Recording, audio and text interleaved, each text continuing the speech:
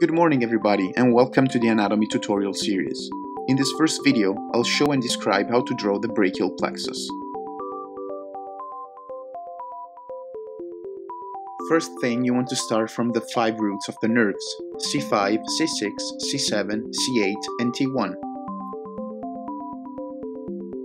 Draw a straight line between C5 and C6. Then, draw two lines for C7, leaving a bit of space between the two and finally the third one between C8 and T1. Right after the roots we have the trunks, which are defined considering their anatomical location.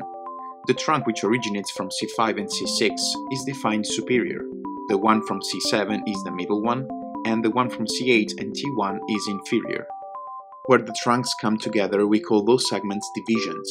Draw an arrow between the superior and the inferior cord, with the apex on the middle one, and complete the X shape between the superior and the middle cords. With respect to the axillary artery, the divisions originated from C5, C6 and C7 are anterior, as well as the one from C8 and T1.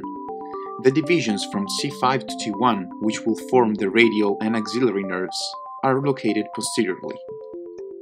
Now move distally, complete the M shape which gives origin to the median nerve, and draw the fork from the middle cord, which will form two more branches for a total of five.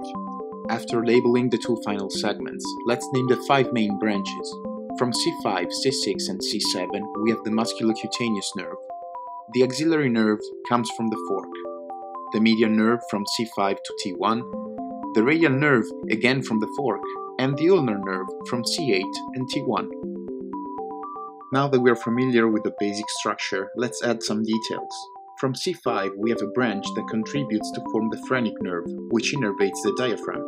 From C5, C6 and C7 we have the long thoracic nerve, which innervates the serratus anterior muscle.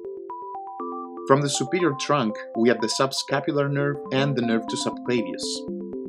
All the next branches come out from the cord segment.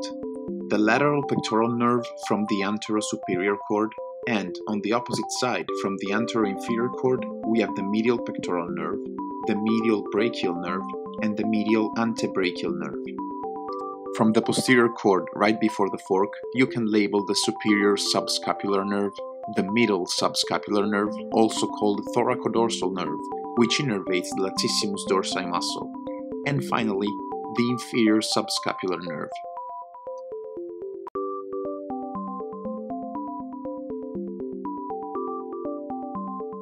This is it guys, I hope it was helpful. If you'd like to see more, subscribe to the channel and leave me a topic in the comment section down below. I'll see you next time, thanks for watching.